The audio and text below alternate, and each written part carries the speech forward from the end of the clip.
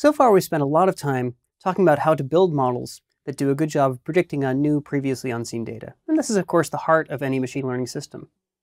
But a machine learning system needs to be able to make predictions that influence the real world. And to do so, they need to be part of a much larger ecosystem than just a little black box that does machine learning. If we look at a, a full machine learning system, it includes many components that are not about training.